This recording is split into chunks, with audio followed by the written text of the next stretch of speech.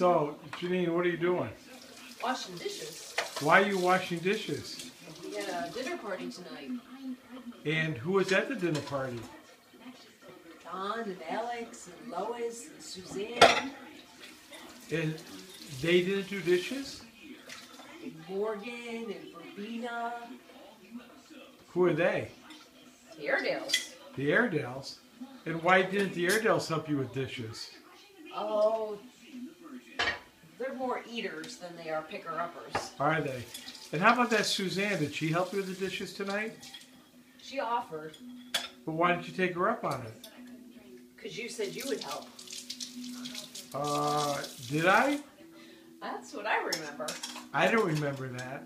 I do. Well, then I'm going to disappear.